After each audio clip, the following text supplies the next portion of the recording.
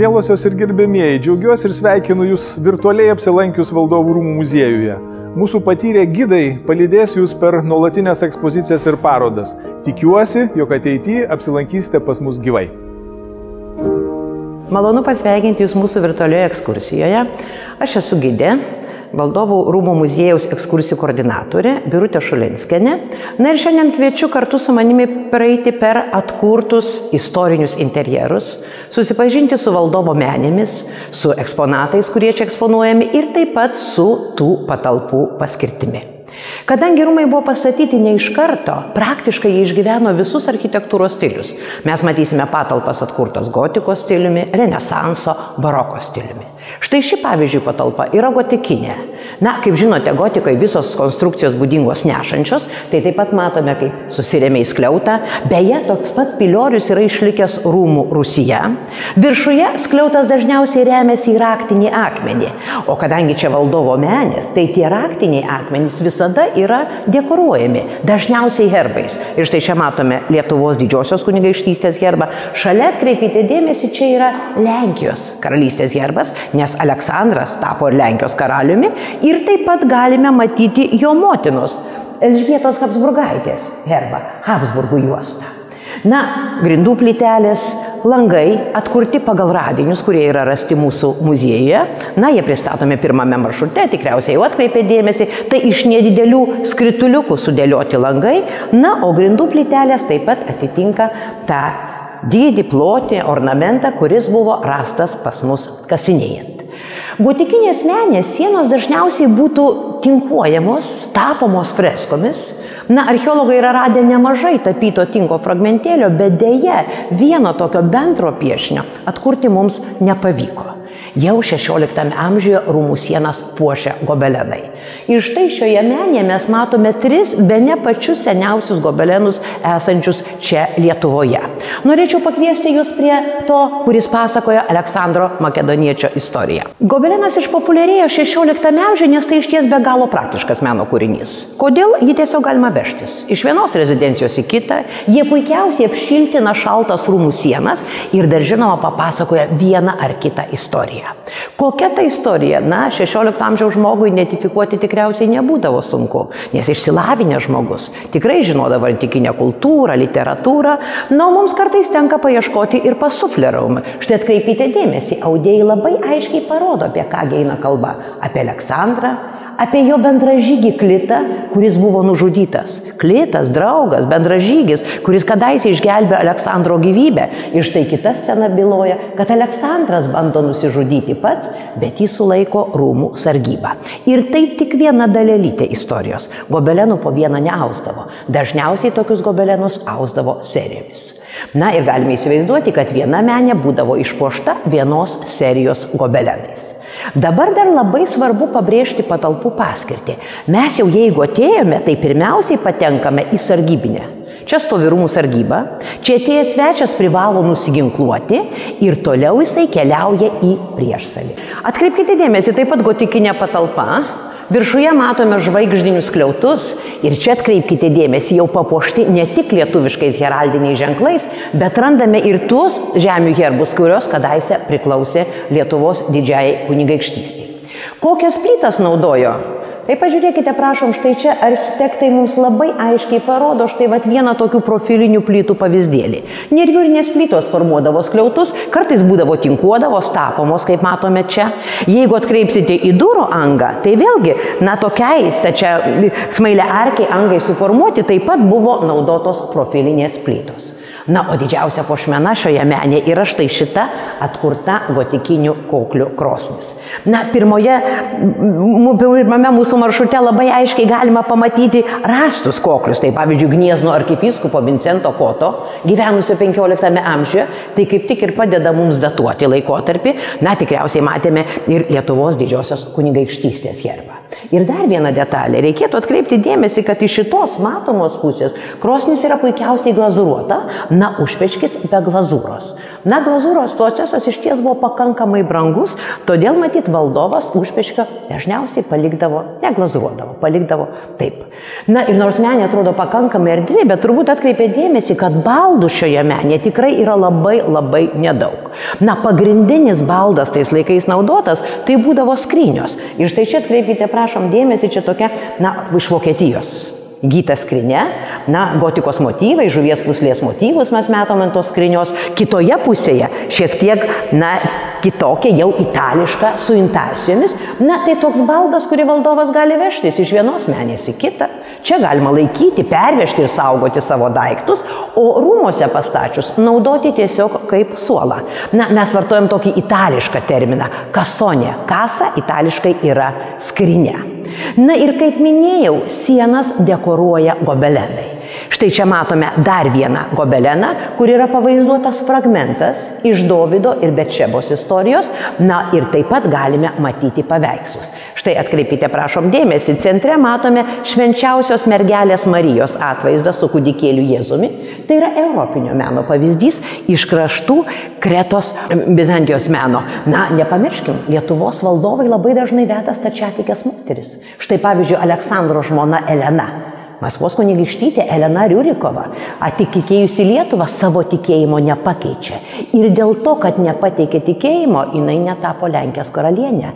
Na, nes jos vyras Aleksandras vėliau buvo išrinktas ir Lenkijos karaliumi. Tai dar kartelį priminsiu, kad čia mes dabar esame priešsalyje. Čia lakukė, čia būriuojasi svečiai, kol galės eiti dar toliau į sostomenį. Na, o štai čia atkreipkite dėmesį, ne tik į kitą menę patekome, tiesiog kitas architektūros stilius, jau renesansas. Be galo spalvinga epocha. Atkreipkite dėmesį viršuje. Štai tokios gražios, spalvingos kesoninės lubos, na, visos jos polichromuotos, centre ir sankirtose matom labai gražiai drožinėtas auksinės rozetes, na, o dar renesansui būdinga patalpų viršuje esantis frizas. Na, jis tarsi apjungia visus dekoro elementus esančius šioje menėje. Kadangi sosto menė, tai matome labai daug herbų. Ir štai centre, atkreipkite prašom dėmesį, matome Lietuvos didžiosios kunigaikštystės herbą ir kunigaikščio karūną viršuje. Iš vienos pusės Lenkijos karalystės tarsi galim kalbėti Žygimanto Augusto tėvo, Žygimanto senojo herbą ir jo motinos Milano ir Bario kunigaikštytės Bonos Sforcos herbą. Na, herbinas beje yra išlikęs. 1555 metais sukurtas čia Vilniuje, nu yra saugomas dabar Paryžiuje Arsenalo bibliotekoje. Zoomorfiniai motyvai, kurie apjungia tuos herbus, yra paimti iš Bonos Forcos maldinėlio. Maldinėlis taip pat yra išlikęs. Na, kai kunigaikštienė karalienė atvažiavo čia į Lietuvą, jinai iš Florencijos atsivežė be galo gražų maldinėlį, kurio miniatūras jūs galite pamatyti pavaizduotas mūsų frize. Na ir žinoma, ne tik lubos, grindys taip pat be galo spalvingos. Na, bet tokių plytelių mes turime rastų kasinėjant. Na, rombo kvadrato pavydalo plytelės rastos jos sudaro štai tokį raštelį. Ir beje, tai yra vienintelė menė visose mūsų rūmose, kur yra pilnai glazūruotos plytelės. Na, tam, kad bent mes galėtumėm įsivaizduoti, kokios prabangios ir spalvingos menės būdavo tais laikais valdovų rūmose. Na, taip pat norėčiau atkreipti dėmesį į krosnį. Matot, čia vėlgi turim daug daugiau spalvų, polichromija. Na, matom antrą krosnį, turbūt atkreipė dėmesį, kad pakuros niekur nematyti. Na iš ties čia yra valdovo menės. Čia tikrai malkų niekas neneša, dūmų niekas neleidžia, nes krosnis visą laiką rena iš išorės, iš galerijos pusės. Gal keistai atrodo, nors mūsų krosnis puošta yra herbiniais kokliais, bet štai pasižiūrėkite, Lietuvos didžiosios kunigaikštystės herbas pavaizduotas mėlyname lauke. Na, iš ties turėtų būti raudonas, bet kadangi raudonos spalva būdavo be galo brangi, tai tiek Lietuvos, tiek Lenkijos herbą mes dažniausiai ir sutinkame pavaizduotą meliname laukia, būtent tokie kokliai rasti pas mus kasinėjant. Na ir šioje menėje taip pat matome dar vieną gobeleną. Štai viršuje atkreipite dėmesį vėlgi pasuflerimas, apie ką eina kalba. Štai žinoma, kad Danielius sutinka sargybos vadą Arijochą ir prašo pas Nebukodnocarą, kad jam duotų laiko, kad jisai galėtų išaiškinti pranašišką sapną. Dabar reikėtų paminėti, kad mūsų valdovai čia šiuose rūmose turėjo apie 160 gobelenų. Ypač daug gobelenų buvo valdant Žygimantui Augustui. Štai čia matome jo portretą. Na, bet likimas susiklostė taip, kad po padalinimo visus tos gobelenus išsiveža Maskvos kariuomenė O po pirmojo pasaulinio karo jie buvo sugražinti Krokovui. Ką mes turime, tai yra naujai įgyti gobelenai, na ir mes tengiamės bent jau tematiškai parinkti tuos, kurie senais laikais būdavo čia rūmose. Na yra žinomas toks faktas, kad kai Žygimantas Augustas veda savo pirmąją žmoną, štai čia matome jos portretą, Elžbieta Habsburgaitė, jinai atitekėdama į Vilnių savo kraityje atsiveža dvi serijas gobelenų. Viena pasakoja apie Romos įkūrimą, kita apie Niebukodnocaro istoriją. Tai štai šis įgytas gobelenas būtent ir pabrėžia, kad toks gobelenas iš šitos Niebukodnocaro serijos kadaise puošia mūsų valdovų rūmų sienas. O štai šis gobelenas tai tikrai priklausė Žygimantui Augustui. Na šį nu, galime taip pat perskaityti. Štai atkreipkite, prašom dėmesį, čia ant Lenkijos herbo, ant terelio matome Žygimanto Augusto monogramą, kuri byloja, Žygimantas Augustas yra Lenkijos karalius, caralhos. Lietuvos didysis kunigaikštis, Volinės, Smolensko, Kijevo žemių valdovas, Bonos Forcos sunus ir visa tai po Lietuvos didžiųjų kunigaikščių karūna, kuri tarsi patvirtina, kad šį gobeleną valdovas užsisakė jau reziduodamas čia Vilniuje.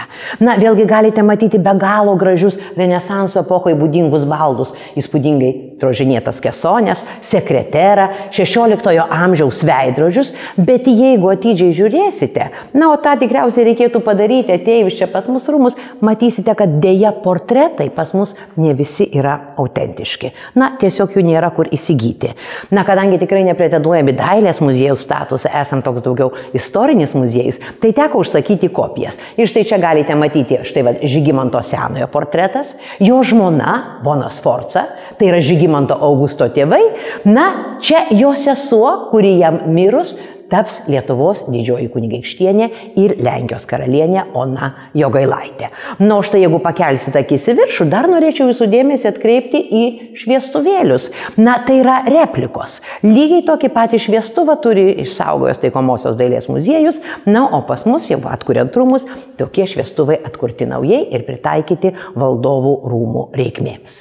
Na ir šalia tokios prabangios, na, prieimimams skirtos menės, o reikėtų paminėti, kad čia valdovas primdavo savo pasiuntinius, na, kitų šalių kunigaikščiai vasalai duodavo jiems savo priesaiką, na ir šalia jos iš kitos pusės turime dar vieną priešsalį. Prašom. Na, ši menė, atkreipkite, prašom dėmesį, jau yra daug kuklesnė. Pagal rūmo atkūrimo projektą tik viena menė Gotikinė, renesansinė, barokinė yra baigtos pilnai, o čia jeigu pakelsite akis į viršų, štai matote, kad čia, na, lubos yra kol kas be polichromijos, pseudokesoninės, nebe tokios prabangios, palikta vieta frizui, na, bet ateityje visi tie darbai galės būti tęsiami toliau. Netgi grindis, kaip matote, nors vėlgi ta pati trapecė ir kvadratėlis sudaro tokį patį raštelį, na, bet fragmentėlį glazūruotų turime tik tai štai čia šalia, kad bent įsivaizduotumėm, kaip tos grindys atrodo glazuruotos, o lankytojų patogumui kitos grindys pas mus yra be glazūros. Na ir šiame priesalė turim be galo įspūdingą krosnį. Štai atkreipkite dėmesį, kokia graži karūna, nes reikėtų pabrėžti ir tokį faktą, kad matomiausioje vietoje, o kur geriausiai matosi, tai akių lygyje ir viršuje dažniausiai dėdavo po karūną. Tai čia matom karūninių koklių eilę su Žygimanto senojo monograma ir dar viena puikia karūna viršuje. Na, kaip atkreipė dėmesį, mūsų rūmai tai yra išties didžiuliai ir tikrai ne tik valdovas čia gyvena. Čia gyvena didikai. Čia gyvena didikai, kurie užima labai svarbias pareigas. Pirmame mūsų maršrute galima rasti koklių, kurie priklausė kunigaikščiams Radviloms. Matyt, taip pat čia gyventa žemutinės pilies teritorija sapiegoms. Na, o vienas iš sapiegų, Leonas sapiega, ilgą laiką yra buvęs Lietuvos didžiosios kunigaikštystės kancleriu. Ir sekanti patalpa priklauso kancleriui. Na, kancleris reikėtų paminėti, kad labai svarbi pareigybė Lietuvoje. Praktiškai, na, svarbiausia pareigybė ir kancleris dažniausiai yra vaizduojamas su spaudu.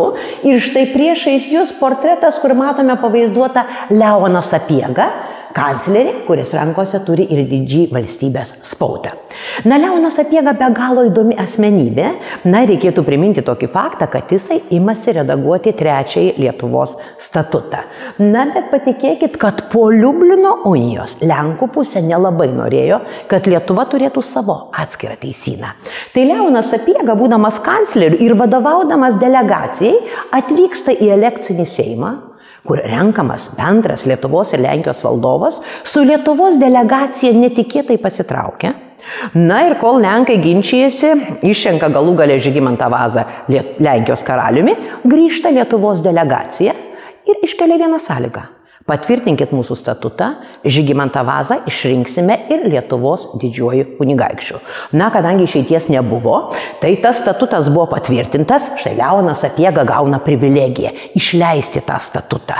Na, o išleisdamas jisai dar parašo ir dvi pratarmes. Vieną aukščiausiam viešpačiu ir karaliui Zygmantui Vasai, o kitą paprastiems žmonėms, sakydamas didžiuokitės, nes turite savo atskirą teisyną. Dar priminsiu, kad visi trys Lietuvos statutai buvo parašyti senąją rusėnų kalba. Tik trečiasis 17 amžiaus pradžioje išverstas į Lenkų. Ir štai čia mūsų ekspozicijoje galite matyti lenkiškai statuto originalą. Na, tiek vienoje, tiek kitoje pusėje. Sekantis kancleris po Leono Sapiegos buvo Stanislavas Albrechtas Radvila. Štai čia matome Peterio Dankerso darbo kopiją, štai vad gražiai pavaizduotas Radvilų giminės atstovas Na, o kalbant apie jį, tai buvo be galo išsilavinęs žmogus, kalbėjęs ne viena užsienio kalba ir yra palikęs beje be galo įdomių prisiminimų apie gyvenimą čia Lietuvoje, čia valdovų rūmose, na ir netgi yra prašęs puotą, jis rašė, kad taip linksmai, taip smagiai ir taip ilgai šventė užgavenės, kad niekas net nepastebėjo, kai prasidėjo gavenė. Na, nu, jeigu kalbėti apie patalpos architektūrą, tai jūs vėlgi matote sieninės lubas būdingas renesansui, vieta palikta frizui ir dar atkreipkite, prašom dėmesį, kad ne tik krosnis, kartais ir žydiniai apšildydavo patalpas. Na štai čia vat matom žydinį, na, dekorui panaudotas smiltainis. Beje, geologai, archeologai rado labai daug smiltainio pavyzdžių, na, o jau geologai pagal tą medžiagą galėjo nustatyti, iš kokių laužynų yra atvežtas akmuo. Tai yra iš Gotlando salos, tai vadų durų, langų apvadams, taip pat žaidiniams 16 amžiuje naudotas smiltainis. Na ir šalia kanceliarijos, šalia kanclerio kabineto raštinė, kuri logiškai jungia kanclerio kabinetą su gale esančiu valdovo darbo kambariu. Ši menė e, skirta raštininkams, beje, reikėtų paminėti tokį faktą, kad oficialiai LDK raštijos kalba buvo senoji rusėnų kalba, bet į Europos valstybės dažniausiai raštininkai laiškus turėdavo rašyti lenkų ar vokiečių kalbomis. Na ir dar viena be galo įdomi asmenybė, čia yra Kazimieras Leonas Apieka. Pakancleris. Na, įsivaizduokime, kad žmogus visą savo šeimos biblioteką yra kadaise padovanojęs Vilniaus universitetui, na ir savo lėšomis yra įkūręs teisės fakultetą. Na, šioje menėje dar be galo įspūdinga krosnis. Štai čia galime matyti įvairiausių elementų, nes renesansui būdinga. Kiekvienas koklis tai yra kaip atskiras meno kūrinėlis. Na, štai čia pasižiūrėkite, vat, galime matyti Ona pati trečioji, šventoji Ona Marija ir kūdikėlis Jėzus, na, Mykola Arhangelą, arba štai ten viršuje atkreipkite dėmesį Adomas ir Jėva prie pažinimo medžio. Beje, tam, kad įsitikinti, kad ne visos krosnis vienodai, tai tikrai reikėtų apsilankyti pas mus valdovų rūmose. Nežiūrėjau, Žiūrėkit, vienos krosnis labai gerai blizgo, kitos dėja neturi tokios blizgios glazūros. Nesenais laikais glazūruojant visą laiką buvo dedamas švinas. Ir va ta tikroji glazūra, kuri turi savo sudėtyje šviną, visą laiką koklius padaro labai, labai gražius, blizgius ir įspūdingus. Na ir dar šiek tiek apie tokį populiarų 16 amžiaus dekoro elementą apie gobelenus. Štai čia turime dar vieną sceną, tai yra medžioklės scena.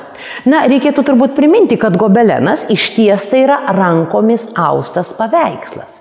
Pirmiausiai dailininkas nutapo lygiai tokio paties dydžio paveikslą, taip vadinamą kartoną, audėjas, kai audžia, jis neturi teisės interpretuoti. Išausti reikia lygiai taip pat, kaip nutapė dailininkas. Na, ta dažniausiai bordiūro kraštuose arba pačioje yra paliekamas miesto ir audėjo ženklas. Dviguba B reiškia Briuselis Brabanto grafystėje. Net būtent ten yra išausti gobelenai ir būtent Briuselėje mūsų valdovai užsisakydavo dažniausiai savo kolekcijas. Na, kiek trukdavo toks gobeleno audimas, tai taip pat, na, labai sunku įsivaizduoti. Na, senais laikais, kai nebūdavo metro, dažniausiai matuodavo alkūnę. Čia va tą gabalėlį per mėnesį reikėtų išausti. Na, o visam gobelenui reikėtų išausti, na, trijų ir keturių audėjų ir ausdavo ilgiau nei metus. Na, priminsiu, kad kolekcija gobelenų 16 amžiuje rūmose buvo išties įspūdinga. Na, ir eidami per rūmų menes atkreipkite dėmesį, visi valdovų rūmų rėmėjai, kurie prisimė prisidėjo prie šių įspūdingų valdovų rūmų atstatymo, yra pas mus įamžinti aukso raidėmis ant marmurinių plokštelių. Na, o dabar štai mes jau su jumis esame valdovo darbo kabinete. Vėlgi kitas architektūros stilius. Atkreipkite, prašom dėmesį, čia jau turime barokinę patalpą. Ir štai viršuje turime plafoninės lubas. Tarp turėmų dar ateityje bus tempiama drobė ir tapoma siužetinė tapyba. Bet dėja nelabai žinome, kas buvo pavaizduota rūmų plafonuose, tad istorikams dar yra užduotis na, ieškoti medžiagos, galbūt rasime paminėjų, kasgi puošia valdovų rūmų lubas. 17 amžiuje jau pasikeičia ir medžiagos. Štai atkreipkite dėmesį, matot, grindys nebemolinės, o sudėliotos iš tai iš tokio klintinio akmens. Klintinis akmuo jau čia yra naudojamas tiek durų apvadams, tiek žydiniui ir pasikeičia langų forma. Štai turime tokių labai gražiai supjaustytų rombo pavydalo stikliukų, nes tokių stikliukų archeologai rado kasinėdami 17 amžiaus E, sluoksnė. Na ir kaip prašo amžininkai, šiame kabinete be galo mėgo dirbti štai šis valdovas, Vladislavas Vaza. Kalbant apie jį, reikėtų paminėti tokį įdomų faktą, kad valdovas keliaudamas po Italiją taip susižavėjo operą, kad grįžęs čia į Vilnių operą stato ir mūsų rūmose. Tai buvo 1636 metai, muzika Marko Skaki, Elenos pagrobimas, Ilrato di Elena. Na, gal metų ir neprisiminsite, bet vis dėlto reikėtų žinoti faktą, kad dešimt metų anksčiau negu Londone ar Paryžyje opera buvo pastatyta pas mus čia Vilniuje. Vladislavas Vaza mūsų rūmose pastatė tris operas. Na, o štai čia matome Vladislavo Vazo žmonos, Cecilijos Renatos Habsburgaitės portretą. Jis iš vienos, jis iš savo rūmų atsiveža baleto tradiciją. Ir nors šešiuose Vilniaus rūmose te gyveno keliarius metus, bet per tą laikotarpį spėjo pastatyti net keletą baleto pastatymų. Na, o štai šis nuotaikingas Leonelis Pados paveikslas mums kaip tik ir parodo baroko epochos epochos muzikantus. Štai matote barokiniais drabužiais apsirengusius muzikantus, kurie visi groja barokiniais instrumentais. Na ir žinoma, atkreipkite dėmesį į be galo gražiai drožinėtus baldus. Ar tai būtų komoda, ar tai spinta, štai tokios įmantrios vingiuotos linijos, be galo gražiai, subtiliai atlikta drožyba. Na, o galvelės baldų labai dažnai rankenėlės atstojo drožinėtos žmonių galvelės. Štai va čia pasižiūrėkite tokią linksmą močiutę ir linksmą linksmą dėduko galvelę matome. Na štai čia tokia nedidelė patalpėlė, kur valdovas galėjo tiesiai iš savo rūmų pereiti į karališkąją koplyčią. Štai kad geriau įsivaizduotumėm, kur mes esame, tai va štai už šito vat langelio. Čia tiesiai gatvė keliautų į... Ir matote, šalia rūmų ir katedros na, Švento Kazimiero koplyčią ir per tą uždarą galeriją valdovas galėdavo nueiti pasimelsti. Dar reikėtų priminti tą faktą, kad 17 amžiaus pradžioje mūsų karalaitis Kazimieras paskelbtas šventuoju.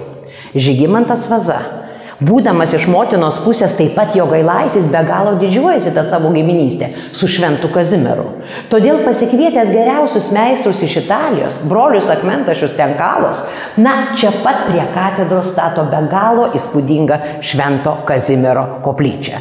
Na, turbūt visi matėt, kaip gražiai ir įspūdingai atrodo koplyčia likščiol.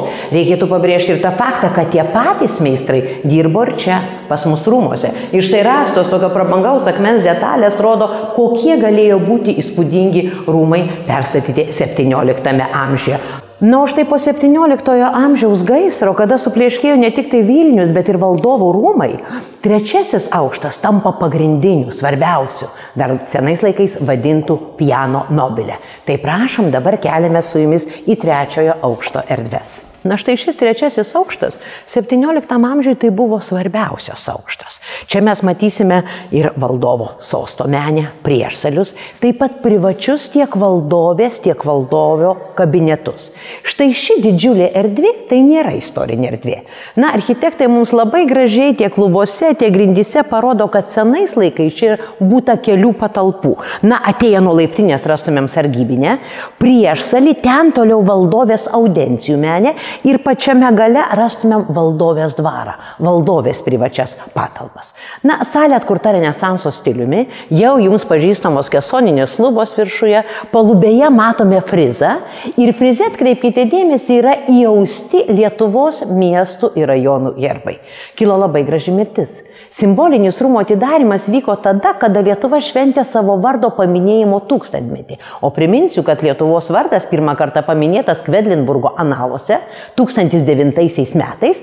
Tai čia šiame nenutapytame, o išaustame frize ir matome visų Lietuvos miestų ir rajonų herbus. Na, kiekvienas, kuris atvyksite į rūmus, tikrai rasite ir savo gimtojo miesto ar rajono herbą. O štai sienas puošia portretai valdovų susijusių su šitais rūmais laikais. Čia rezidavusius, na galime pradėti nuo Vytauto didžiojo, jo gailos, jo pusbrolio, Kazimiero jo gailaičio, praeina visa plėjada Lietuvos valdovų ir štai baigėme Jonų Kazimierų vaza.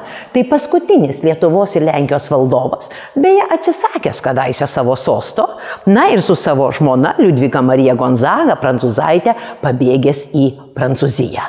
Na, o ši didžiulė menė skirta pas mus įvairiausiams reprezentaciniams renginiams. Tai vyksta ir seminarai, ir konferencijos, ir kartais taip pat parodos. Ir štai priešais jūs paveikslas iš vieno paveikslo parodos, būtent matome italų dailininko Tomaso Dolobelos paveikslą Carušuiskių priesaiką Lietuvos didiesiems kunigaikščiams ir Lenkijos karaliams. Paveikslas pas mus atkeliavęs iš Lvovo ir kurį laiką džiugins mūsų Lietuvos lankytojų akis. Na, štai čia mes dabar ateiname į valdovės Bonos Forcos kabinetą darbo. Su Bonos Forca į Lietuvą atkeliavo Renesanso epocha, todėl ši menė taip pat atkurta Renesanso stiliumi. Net kreipkite, prašom dėmesį, kokios prabangios kesoninės lubos, taip gražiai, subtiliai yra dekoruotos. Na, kol kas šioje menėje dar trūksta frizo. Na, bet turime be galo įspūdingą krosnį. Na ir kaip minėjau, matomiausioje vietoje turim tokį patį svarbiausią koklį ir čia matome Bonos Forcos herbą - žaltyrijantį kūdikį. Na, kalbant apie Renesanso epochos meistrus, tai reikėtų pabrėžti ir jų išmonę, fantaziją. Kartais istorijų papasakodavo, kartais pajokaudavo ir štai čia matom tokį be galo įdomų frizą. Na, apačioje matome, kaip zuikiai keliauja į medžioklę. Štai galime matyti, kaip jie pasigavę tempėsi šunį, arba štai čia ant laužo kepasi medžiotoja. Ir dar viena puošni karūna puošia šitos krosnės, na, viršų. Na, kaip atrodė pati Bonas Forza, tai mes galime matyti štai čia šiuose pavaizduotose portretuose. Čia pagal Luko Kranacha jaunesniai padarytas Bonos Forzos portretas, na ir jos vyras, Lietuvos didysis kunigaikštis, Lenkijos karalius Žygimantas Senasis. Iš ties žiūrėdami į valdovę matom tokią rūščią moterį, nu iš ties be galo graži buvo. Ir amžininkai rašė, kad tai buvo be galo išmintinga, protinga moteris. Na ir pasak pasiuntinių, kurie vyko į Italiją, Žygimantui senajam sakė, kad niekas nemoka taip gražiai šokti kaip karalienė Bona Sforza. O štai čia turime ir jos paveikslą, kaip jinai buvo pavaizduota jaunystėje. Būtent štai šią tokią gražią moterį ir vedė Žygimantas Senasis. Na, valdovė iš ties padarė labai daug gerų dalykų Lietuvoje. Valakų reformą yra pravedusi, inventarizavusi valstybės žemės, skatino sėjomainą. Na, o čia galime įsivaizduoti štai vat jos darbo kabinetą. Na, sekanti patalpa tai jau šiek tiek kuklesnė, nes tai yra valdovės mėgamasis. Dažniausiai būdavo korpuso gale, kur nėra atskirų praėjimų, durų. Na, šiek tiek gal ir kuklesnė patalpa, bet jaukesnė. Štai atkreipite dėmesį, matot, grindys nebekmeninės, medinės ir jaukiau, ir šilčiau. Na, patalpa turi būti apšildyta arba krosnimi, arba žydiniais. Ir štai čia matome žydinio rekonstrukciją ir tokį labai gražų trikojį baldelį. Ten yra palikta vietelė žvakė žvakiai ir pastačius žvakę ant viršaus dubenį su vandeniu, vandenį galima ilgą laiką išlaikyti šiltu. Na ir dar mažosios architektūros pavyzdys, štai tokie klauptai, be galo gražiai drožinėti, be galo gražiai išpuošti, dažniausiai puoždavo valdovo ir valdovės privačias menes. Nu, o kaip atrodytų 16 amžiaus miegamojo lova, tai galite matyti štai čia rekonstrukciją. Na, tai yra baldas atvežtas iš Italijos, o jau štai pats baldakimas ir audiniai uždėti ant lovos, tai jau yra rekonstrukcija. Na, taip pat dar norėčiau atkreipti dėmesį į langus, kurie, na, puošia tokiais, papuošti tokiais nedideliais rombo pavydalo stikliukais, dažnai labai spalvingi ir iš ties menės tarsi naujai sušvinta, kada patenka pro jos saulės šviesa. Na ir štai čia senais laikais turėjo būti sargybinė, o iš jos, matote, prasideda amfilada. Ištisinė duro eilė ir trys priešsariai, kol valdovo svečiai būriuodavosi pagal rangą. Na, netokie svarbus svečiai likdavo toliau, garbingesni keliaudavo vis toliau ir toliau iki sosto menės. Tuo maršrutu mes taip pat galime praeiti ir su jumis.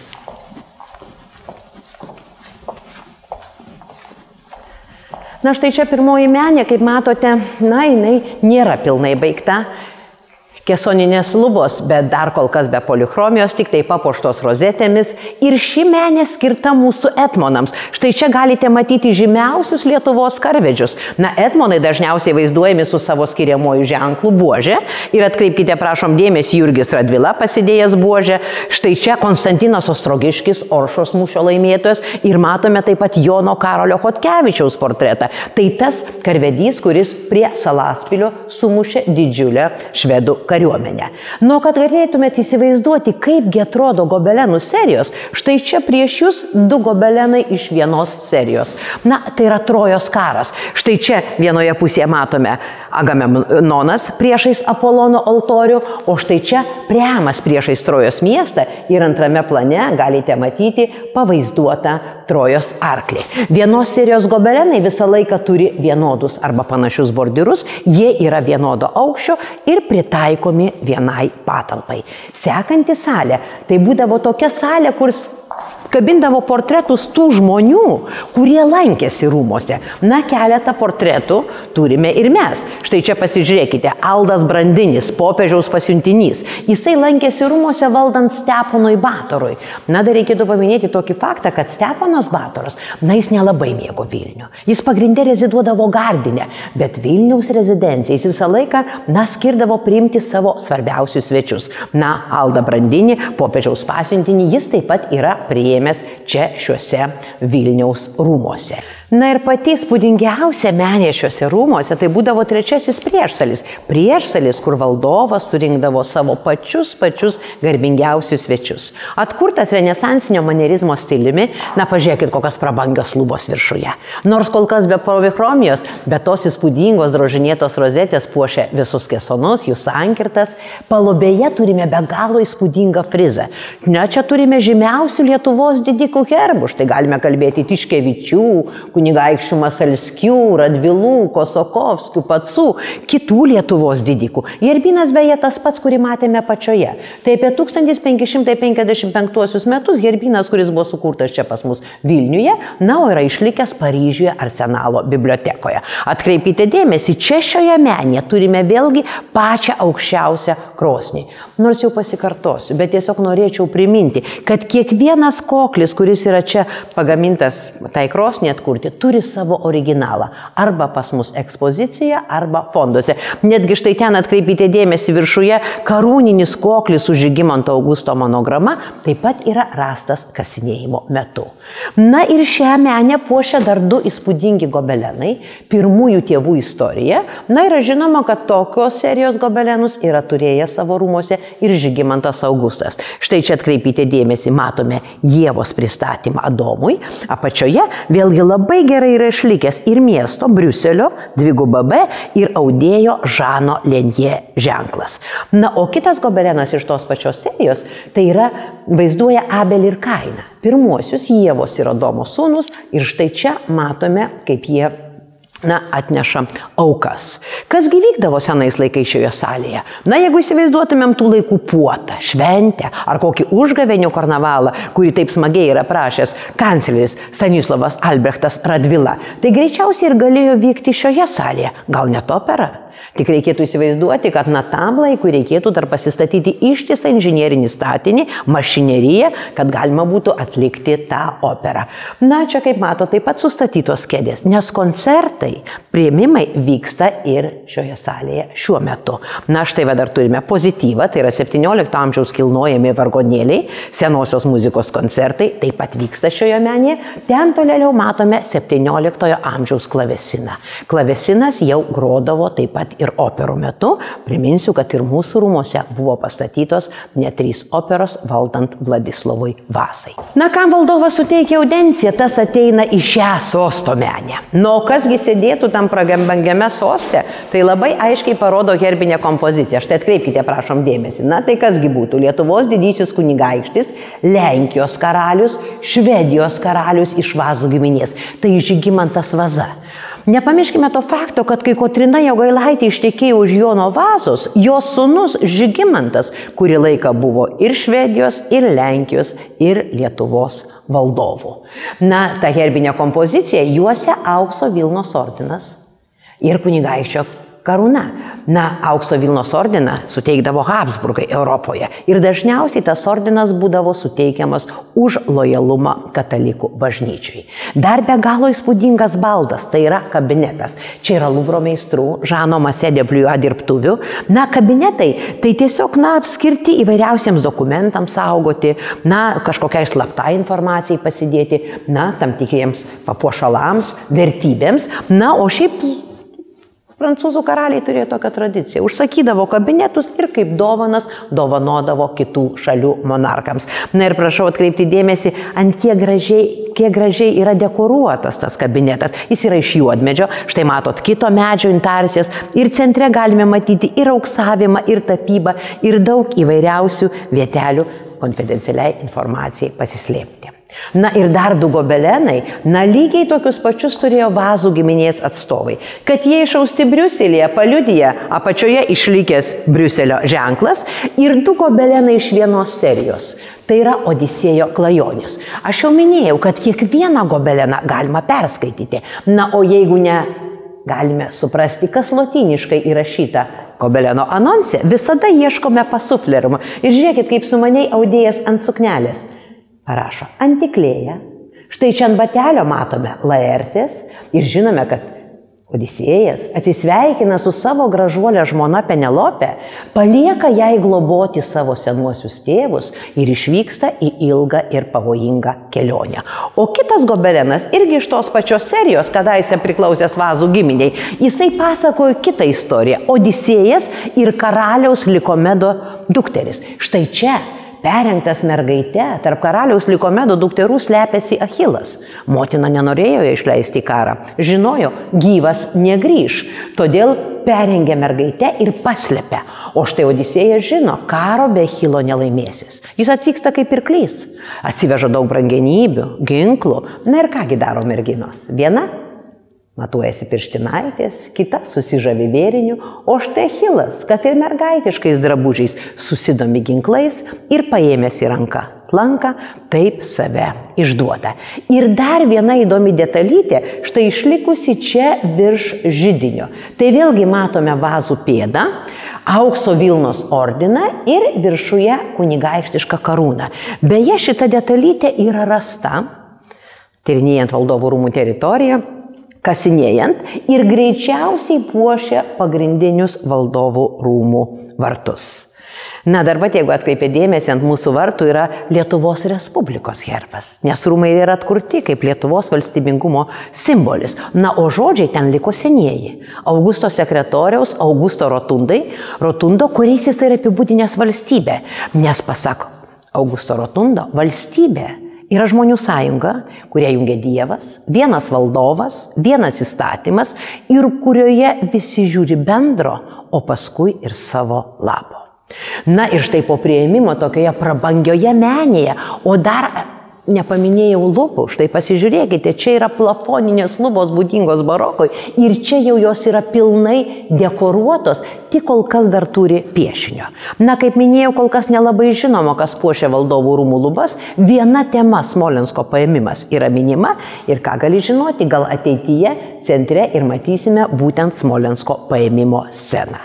Ir po prieimimo valdovas dar turi galimybę vienu du su savo svečiu pasikalbėti tokiame prancūziškame kabinete, taip vadinamas tet a tet.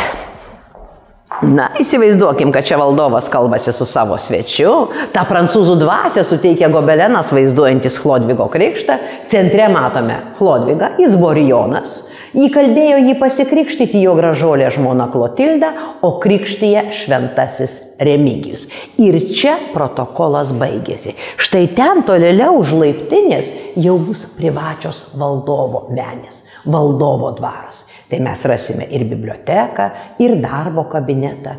Aukštų žemiau galime rasti jo miegamąjį ir pirmame aukšte dar yra mūsų valdovų rūmų lobynas. Prašom. Na, o štai dabar mes esame valdovo bibliotekoje. Yra žinoma, kad jau Žygimantas Augustas yra turėjęs be galo didelę biblioteką. Na, kad geriau būtų įsivaizduoti, tai įsivaizduokim 4000 knygų ir štai visos knygos yra aptrauktos vienodais odiniais viršeliais, yra įspaustas Žygimanto Augusto Xlibris, bet kadangi valdovas miršta be vaikis, tai visą savo biblioteką yra padovanojęs Vilniaus universitetui. Na, bėda ta, kad sesuo Ona ne visas knygas atidavė. Tai universitetas te turi tas, kurias kažkada gavo iš sesers Onos. Čia mūsų rūmų ekspozicijoje taip pat yra įvairios knygos, na, žinom, kokiomis knygomis domėjo, ką skaitė valdovai. Taip pat galite atkreipti dėmesį į valdovo portretus. Bet, na, jeigu pagalvojus, tai turbūt, na, nebuvo senais laikais tokių žymių dailininkų, kurie būtų galėję nutapyti mūsų Lietuvos valdovus. Na, turbūt mes visi įsivaizduojame, kaip atrodo Gediminas, Algirdas ar kitas, kuris Lietuvos didysis kunigaikštis. Nu, apie Vytautą informacijos tikrai nėra daug. Pavyzdžiui, yra sakoma, kad valdovas buvo nedidelio ūgio, kresnas ir be barzdos. Ir štai norėčiau atkreipti dėmesį iš tokią be galo įdomią graviūrą, kur Vytautas pavaizduotas su savo žmona Ona, 16 amžiaus dailininkas. Na, sutikite, kad tokio Vytauto tikriausiai sutikti dar pavaizduoto neteko. Na ir už tos bibliotekos dar turime valdovo kabinetą, nes valdovas dirbdavo ir žinome, kad labai mėgo dirbti Altanoje. Ir štai čia valdovo darbo kabinetas. Na, čia jau kalbėkime apie 17 amžių, nes ir pati patalpa, kur ta baroko stiliumi, štai vėlgi viršuje galite matyti plafoninės lubas. Na, olandiškas kabinetas, turime be galo gražiai dekoruotas du, gražiai dekoruotus durų apvadus, žydinį. Na ir čia galime kalbėti apie vazų laikotarpį. O štai čia yra Pėterio Dankerso darbas ir pavaizduotas Jonas Kazimieras Vaza. Kitoje pusėje matome jo žmoną Liudvika Marija Gonzaga, Prancūzijos karaliaus įdukra. Beje, ji ir įkalbėjo Joną Kazimierą Vazą atsisakyti ir Lenkijos, ir Lietuvos sosto ir su ją pasitraukti į Prancūziją. Na, dar atkreipkime dėmesį į gobeleną. Tai yra be galo prabangus audinys, vaizduojantis drakoną ryjantį kiaušinius. Na, įsigyti gobeleną tai iš tiesų yra iššūkis, nes tai tos 400 metų senumių drobės audiniai yra be galo brangus. Na ir kartais valdovų rūmai įsigyja, na, tokio prastesnio stovio gobelenus. Na, bet reikėtų pasidžiaugti tuo, kad Lietuvoje taip pat turime auksarankių. Tai yra moteris, kurios dirba Gudino restauracinėme centre. Na ir šiais laikais restauruojant gobeleną jau labai labai aiškiai parodomos jungiamosios linijos, kur yra padaryta naujai, atrestauruojant vieną ar kitą meninį audinį. Dabar leidžiame su jumis aukštų žemiau, kad galėtumėm aplankyti valdovo miegamojo patalpą. Na, o kalbant apie valdovą ir valdovės dvarą, tai reikėtų paminėti, kad tai buvo du atskiri juridiniai vienetai. Valdovės dvarą mes jau aplankėme vakarinėje rūmų, rytinėje rūmų dalyje, o štai vakarinėje rūmų dalyje prie katedros turim valdovo dvaras, čia buvo biblioteka ir taip pat jo asmeniniai, asmeninės patalbos kabinetas. Na štai čia dar kartelį galite pasižiūrėti, kaipgi atrodė kunigaikštis Vladislavas Vaza. Priminsiu, kuo brangus mums tas valdovas. Tai būtent tas valdovas, kuris pirmasis čia rūmose 1636 metais pastato pirmąją operą pagal Marko Skaki muzika. Na, taip pat įspūdingas gobelenas vaizduojantis Gizos piramidę. Na, turime baroko laikotarpio baldų ir per drabužinę, kur senais laikais valdovas galėdavo nusirenkti, laikyti savo drabužius. Čia turime vieną be galo įdomų eksponatą. Štai pasižiūrėkite, kokia įdomi kėdė. Greičiausiai tai būdavo barzdaštučios kėdė, nes šis baldelis jisai sukasi apie savo ašį ir kad valdovui nereikėtų vargintis, na, barzdaskučiui palengvindavo darbą štai tokia pritaikyta skutimuisi kėdė. Ir užbaigė vėlgi paskutinė patalpa, kur nėra jokio praėjimo, valdovo miegamasis. Na, čia taip pat galite matyti 17 amžiaus lovos rekonstrukciją, kad mes galėtumėm įsivaizduoti, kaip tais laikais atrodydavo lovos su baldakimais. Dar be galo gražios formos, tiesiog primenanti arką, štai toksai klauptas. Na, turime du klauptus. Vienas galbūt pasimersti prieš nukryžiuotojo paveikslą, kitas stovinti šalia, kad galima būtų pasivesti prieš šventąją šeimyną su Jonu Krikštytoju. Ir mes jau esame matę tokį tikrai be galo prabangų kabinetą Luvro meistrų, o štai toks visai nedidukas iš Augsburgo 16 amžiaus kabinetas. Na, tiesiog galėjo stovėti ir privačiame valdovo kambaryje. Dar vienas portretas, matome pavaizduotą kunigaikštį, karalaitį. Tai yra Vladislavo Vazos sunus.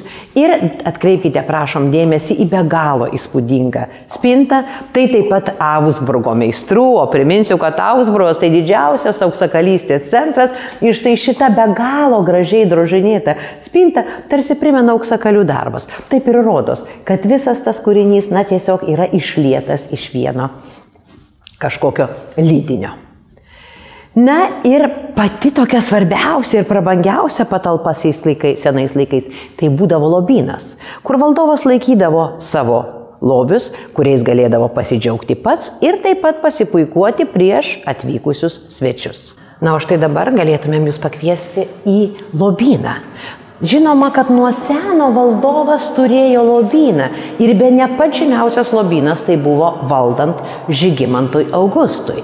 Taip pat radiniai liūdija, kokiegi daiktai buvo rasti čia kasinėjant. Štai atkreipkite, prašom dėmesį, Venecijos stiklo taurė, rasta jau 15 amžiaus sluoksnė, iš ties rodo didžiulę valdovo prabangą. O štai taurė šiuo metu yra restauruojama, tai yra Aleksandro Jogailaičio taurė. Taurė šiek tiek vėlesnio laikotarpio, kai mes galime matyti, pavyzdžiui, Augustas Stiprusis, Saksonijos kurfiurstas, kuris buvo tapęs ir Lietuvos didžiuoju kunigaikščiu, Lenkijos karaliumi, štai vėl vėlgi matome jungtinį herbą Lietuvos, Lenkijos, Saksonijos ženklą, o štai viršuje galime matyti ir užrašą Friedrichs August Rex Polonija.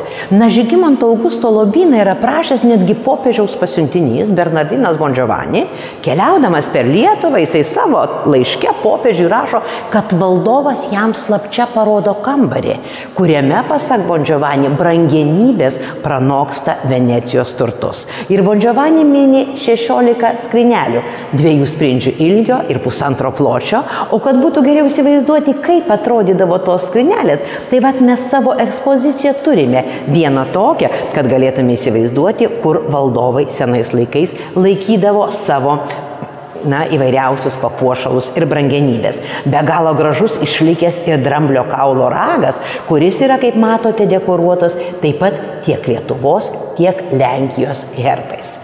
Na, kad Lietuvos meistrai auksakaliai nenusileido europinėms meistrams, tai galime palyginti štai šituos laikrodžius. Štai čia pasižiūrėkite, yra Europoje pagamintas laikrodis. Na, tai yra, sakykime, daugiau jau iš Augsburgo, iš Vokietijos atkeliavęs eksponatas. O štai čia matome Vilniaus meistrų pagamintą laikrodį ir autoriumi galėtų būti Jonas Klasenas.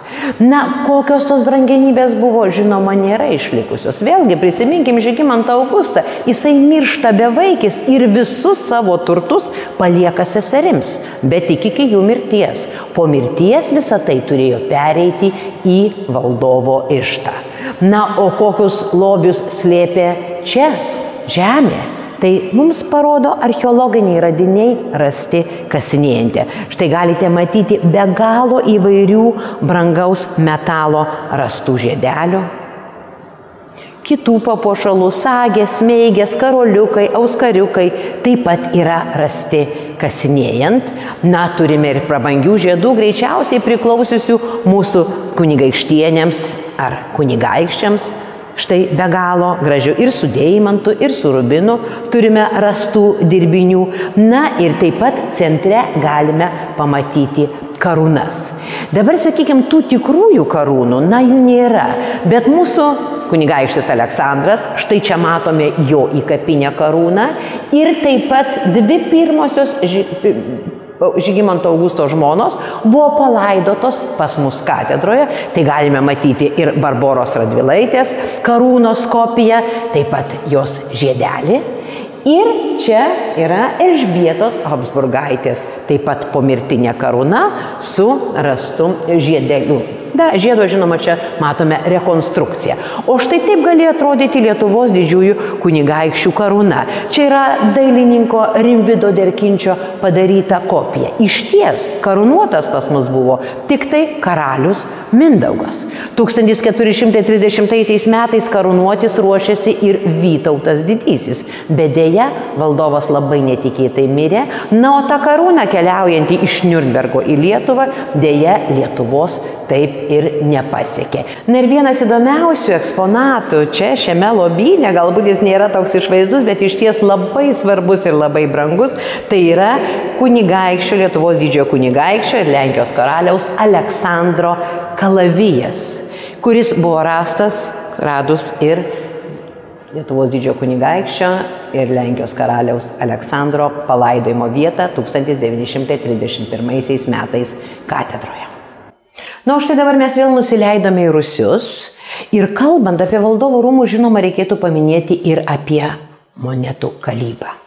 Na, valdovo teisė yra kaldinti monetas ir jau pirmosios monetų kalyklos atsirado apie 1386 metus.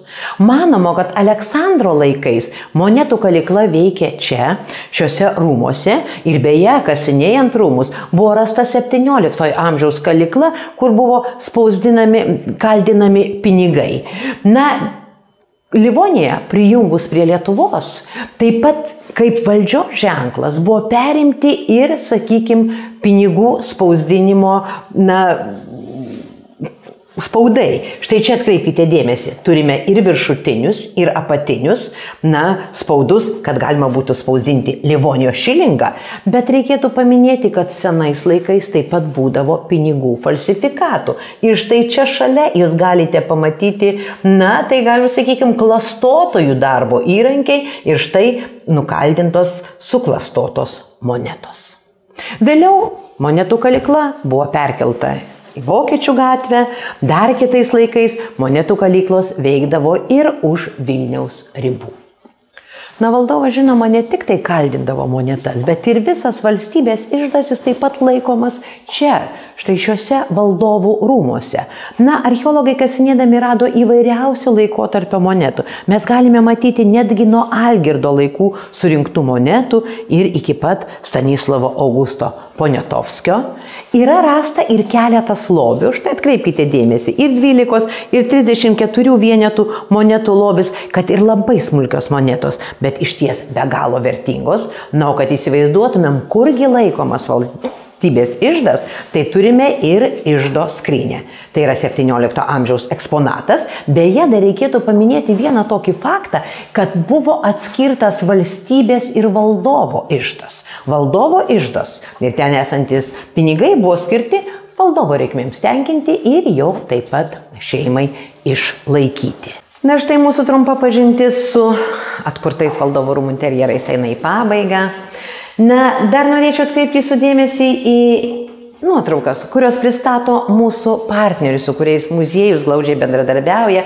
Tai yra Krokovos karališkoji pilis, Varšuvos karališkoji pilis, Dresdenas. Ir kaip įprastai ekskursijos pabaigoje turėčiau paklausti, gal turite klausimų man?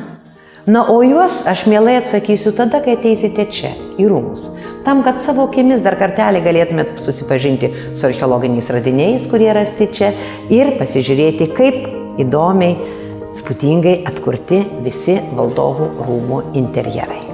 Dėkoju, kad virtualiai apsilankėte muziejuje. Tikiuosi, kad patyrėte daug gražių įspūdžių. E, tikimės, kad apsilankysite mūsų muziejuje gyvai, o šiuo metu sekite informaciją mūsų virtualioje erdvėje.